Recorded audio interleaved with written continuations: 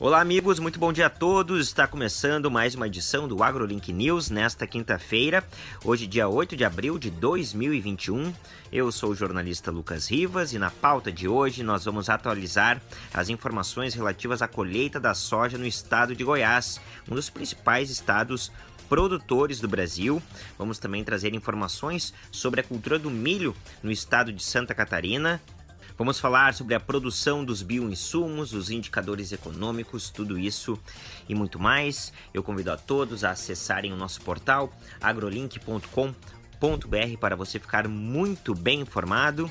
Dentre as principais manchetes de hoje, destaco que a pecuária brasileira pode crescer, olha só, até cinco vezes. O rebanho de bovinos no Brasil conta hoje com 215 milhões de cabeças.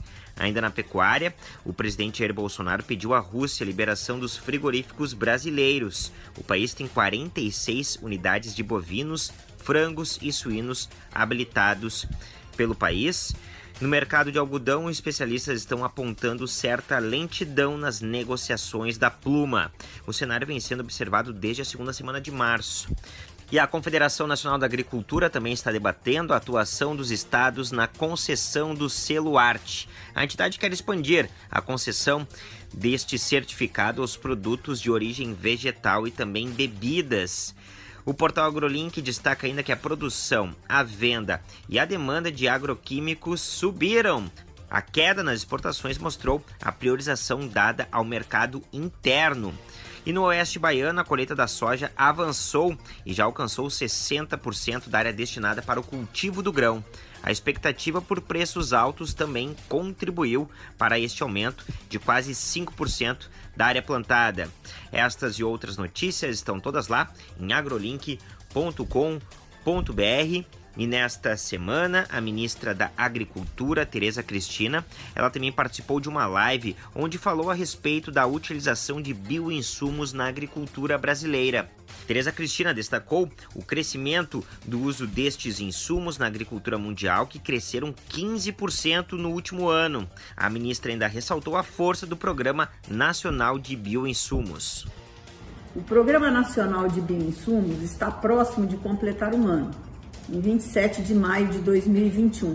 E nada melhor do que comemorar essa data com resultados positivos, com a colheita de sementes que plantamos, como a criação dos programas estaduais, tal como o de Goiás, com foco na agricultura de base biológica e inovação, são desdobramentos que queremos e vamos apoiar para o avanço de tecnologias que contribuem para o desenvolvimento sustentável no agro nacional. O Conselho Estratégico do Programa Nacional de Bioinsumo está fomentando e acompanhando de perto todas as ações em prol do desenvolvimento do setor. Por meio do Conselho, vamos contribuir com mais experiências inovadoras como essa de Goiás. Tudo isso faz parte de um esforço de políticas públicas para que possamos continuar a modernização da nossa agricultura. Uma articulação positiva em prol da competitividade do agronegócio. Mas queremos e vamos além, que tenhamos mais oferta de, ofertas de produtos é, de base biológica, mais startups atuando é, com bioinsumos, é, ambientes de inovação dedicados, atuando de forma regional e integrada. É esta ministra da Agricultura, Tereza Cristina, destacando a produção e também a utilização dos bioinsumos. Agora, vamos até o estado de Goiás. Vamos atualizar as informações referentes à colheita da soja no estado de Goiás, que é um dos principais estados produtores do Brasil. Eu converso agora com o presidente da ProSoja Goiana, Adriano Barzotto. Inicialmente, presidente, muito obrigado por essa entrevista aqui para com o AgroLink News. A colheita da soja em Goiás iniciou em fevereiro e agora, neste momento, em que estágio estão exatamente os trabalhos no campo? Bom, a colheita começou realmente em fevereiro, né? Comecinho de fevereiro aqui no estado de Goiás. E, e nós estamos aí bem, bem no finalzinho da, do período de colheita. A gente estima entre 98, 97, 98% da área colhida.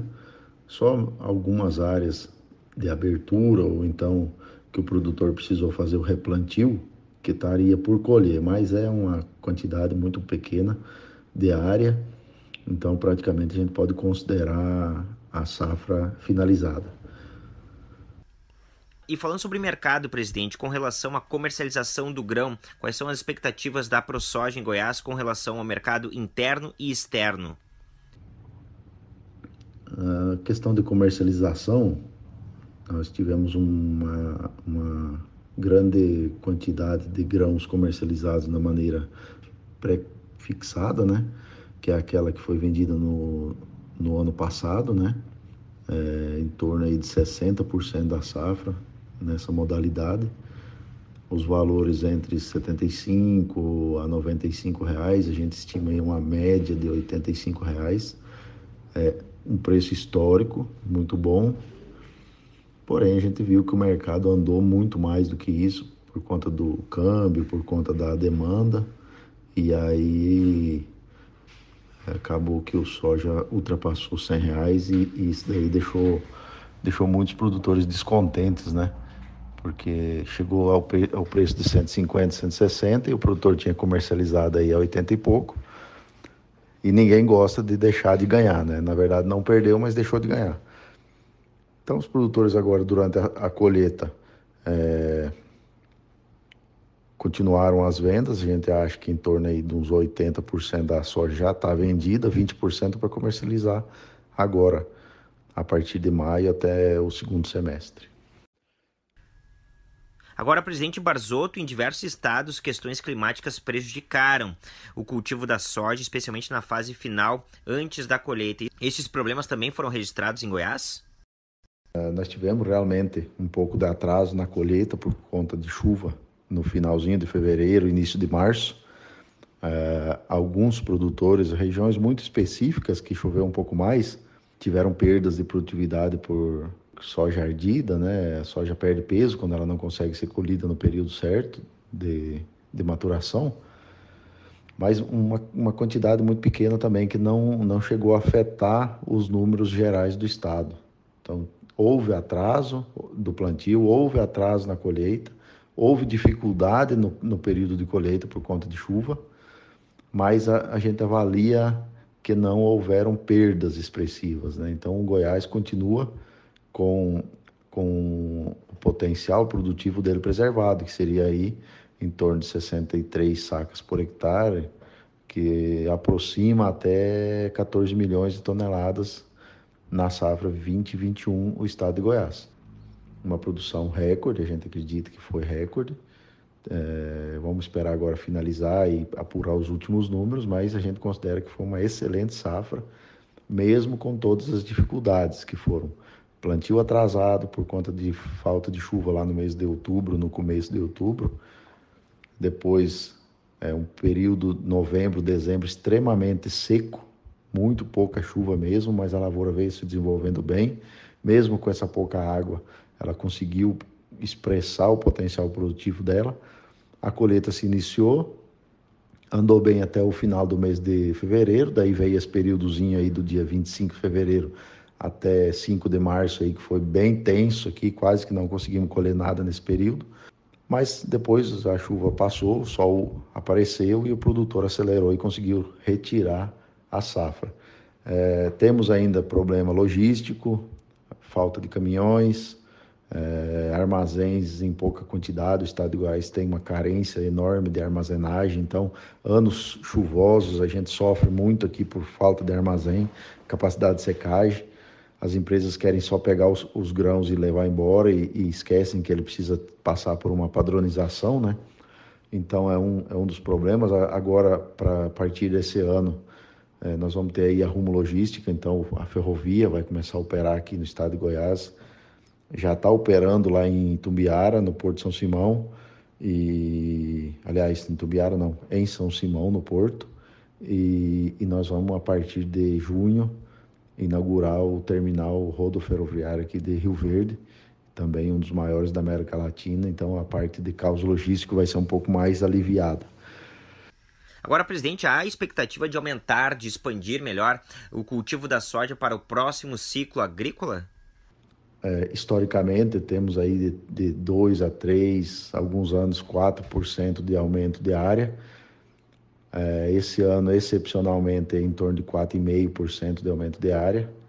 É, e acreditamos que vai continuar nesse número aí, em torno de 4,5% de, de, de abertura de áreas, por conta da valorização da, da saca de soja e também pela demanda mundial dos grãos, que faz com que o produtor anima e continua abrindo pastagens degradadas e, e, e sendo o estado de Goiás um, um, estado que tem condições de abrir área é, de pastagens, porque historicamente é um grande produtor pecuário, né? E essas pastagens realmente precisam ser melhoradas e quando ela entra no ciclo de agricultura, ela dificilmente volta para o pasto. Então, a área que o produtor resolve tirar o gado para melhoria de pastagens, geralmente ela fica na agricultura mais, mais anos e continua dessa forma.